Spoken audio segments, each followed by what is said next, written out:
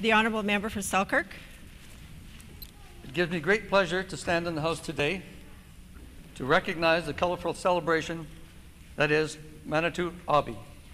Manito Ahbee has become a highly important celebration of Indigenous music and culture here in Manitoba. Manito Ahbee Festival is to engage all nations, Indigenous and non Indigenous, in the spirit of the international celebrations of Aboriginal music, arts, culture, and heritage. The festival's goal is educate, entertain, inspire, and unify.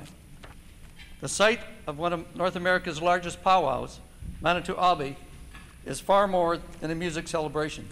It is a celebration of Indigenous culture and a statement of the important historic and current day contributions of the Indigenous peoples to our great province and to Canada as a whole.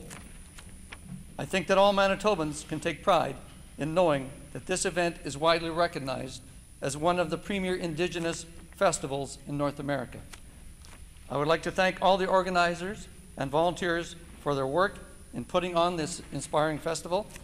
Here's to a memorial, memorial, memor, memorable and successful celebration.